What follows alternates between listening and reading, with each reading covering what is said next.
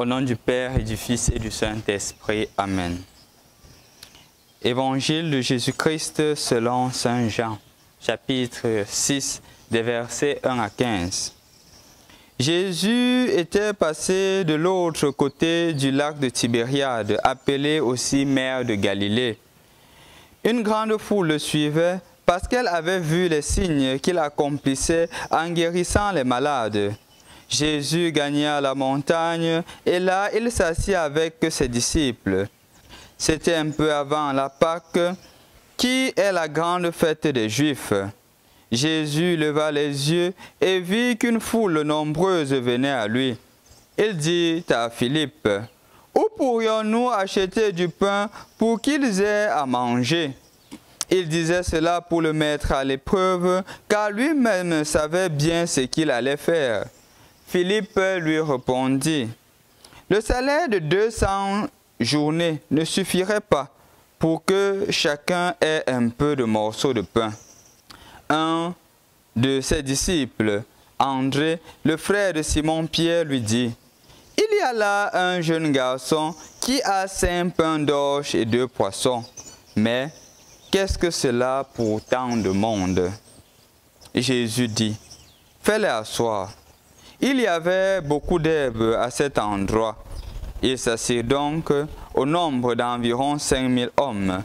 Alors Jésus prit les pains et après avoir rendu grâce, il les leur distribua et il leur donna aussi du poisson autant qu'ils en voulaient.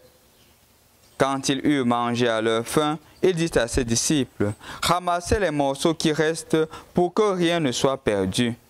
Ils les ramassèrent et ils remplirent douze paniers avec les morceaux qui restaient des cinq pains d'orge après le repas. À la vue de ces signes que Jésus avait accomplis, les gens disaient, c'est vraiment lui le grand prophète, celui qui vient dans le monde.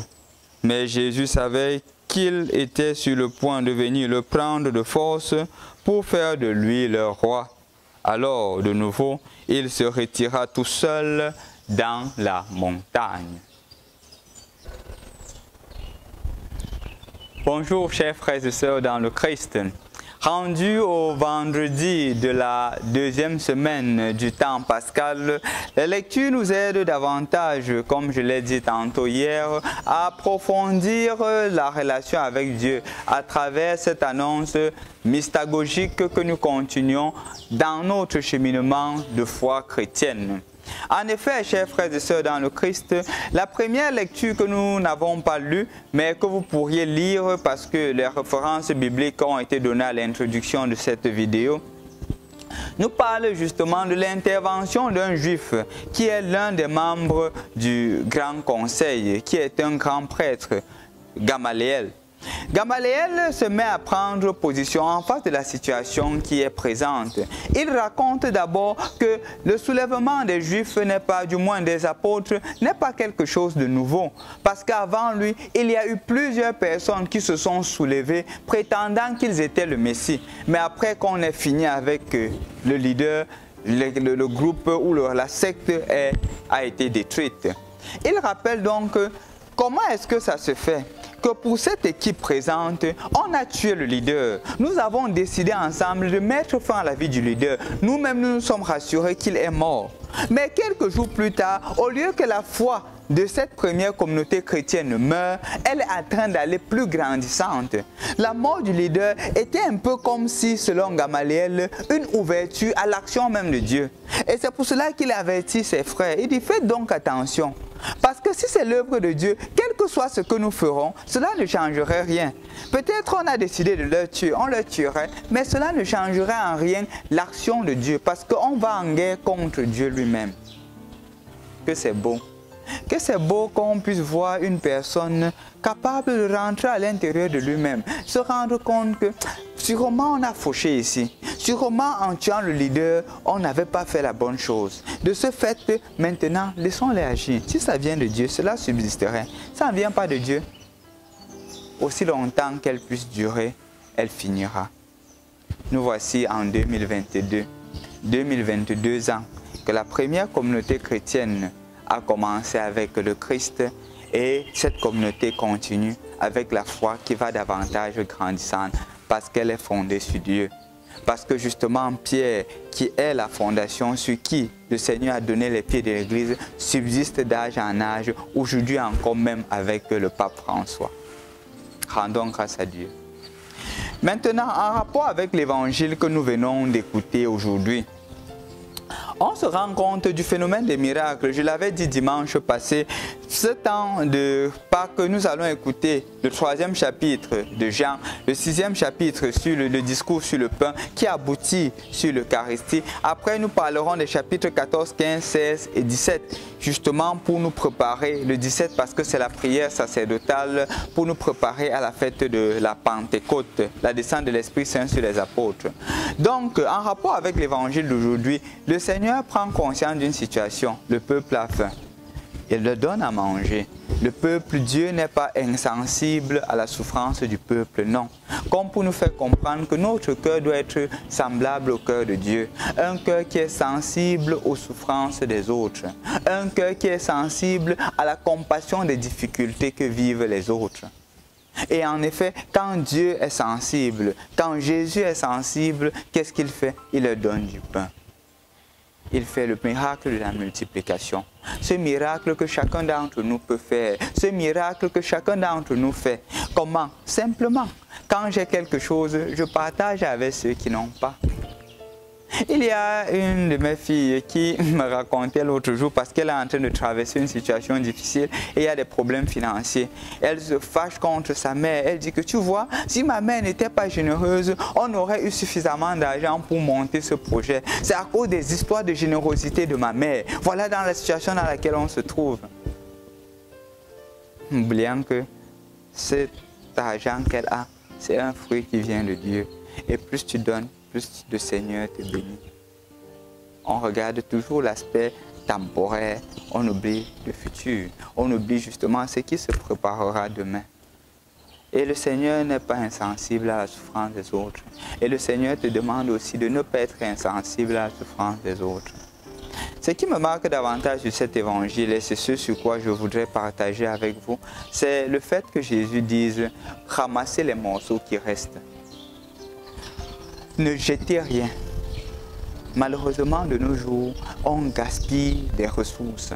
On refuse de faire les mêmes miracles que Jésus parce qu'on fait du gaspillage. J'ai reçu une photo euh, sur Facebook, euh, un monsieur qui se mettait à se laver des mains avec du champagne en casino. Je me dis, voilà, c'est une action qui montre justement qu'on gaspille. L'argent qui pourrait servir à payer la scolarité d'un enfant, l'argent qui pourrait servir à nourrir un enfant, qu'est-ce qu'on fait? On est capable de le gaspiller comme cela pour nos intérêts personnels, pour nos intérêts égoïstes. Et là, le Seigneur continue à nous dire, nous sommes sur le mauvais chemin. Donnez-leur vous-même à manger. La même parole qu'il a adressée à Philippe, il, il adresse aussi à toi qui gaspille de l'argent? Quand on éduque les enfants à manger, à laisser les rester, on est en train d'éduquer les enfants à ne pas produire le même miracle que Jésus. Parce qu'on doit éduquer l'enfant à manger ce qui est nécessaire. On doit éduquer l'enfant à la charité. C'est cela. C'est l'action qui est contre le gaspillage. Que celui qui a deux donne à celui qui n'en a pas. On a écouté il y a de cela quelque temps l'évangile où les disciples mettaient tout en commun. Parce que justement, on ne veut pas que quelqu'un soit dans l'absence. On veut que chacun ait le strict minimum Mais malheureusement, de nos jours, il y a beaucoup de gaspillage. Quand l'argent est reparti à une certaine caste de personnes et justement une grande majorité vit dans la faim, vit dans la famine, c'est clair qu'il y a du gaspillage. Et Jésus dit, évitons le gaspillage. Évitons le gaspillage dans le monde entier. Seulement 1% de la population mondiale reçoit une grande majorité, un grand pourcentage de l'économie du monde. Pendant que ces gens-là meurent de faim, pendant qu'il y a beaucoup qui meurent de faim dans des pays, pourtant des personnes s'identifient comme milliardaires. C'est du gaspillage c'est du gaspillage. Et Jésus t'invite aussi à faire le miracle, à faire le miracle de la charité. Aujourd'hui, Jésus te dit, fais le miracle de la charité avec ce que tu as. Ne pense pas que tu ne peux rien faire. C'est justement ce que Philippe disait. Non, on ne peut pas. Pour tant de monde. C'est d'ailleurs ce qu'André a dit. Qu'est-ce que cinq pains d'orge et deux poissons suffiraient pour tant de monde, pour 5000 personnes? Qu'est-ce que cela ferait? Ça ferait du miracle si tu commences à poser une action. Tu commences à poser un acte de charité. Tu verras que des miracles s'accompliraient. Je voudrais conclure avec euh, une petite histoire que j'ai écoutée. C'est l'histoire d'un monsieur qui pose beaucoup d'actes de charité euh, dans euh, la société.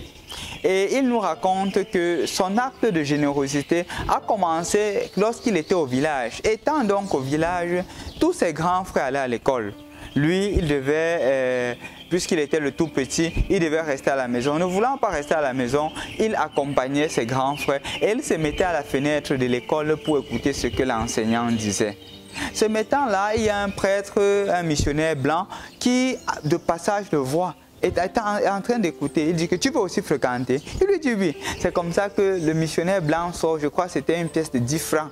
Il paye sa pension, ce n'était pas 10 francs, c'était 25 à cette époque. Il paye sa pension et il entre à l'école, il se met à étudier. Et c'est comme ça que le prêtre missionnaire et la communauté se met à payer ses, ses études jusqu'à ce qu'il arrive où il est.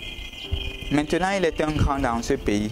Comme acte de gratitude, il enseigne dans beaucoup d'universités gratuitement, dans des universités qui n'ont pas de moyens.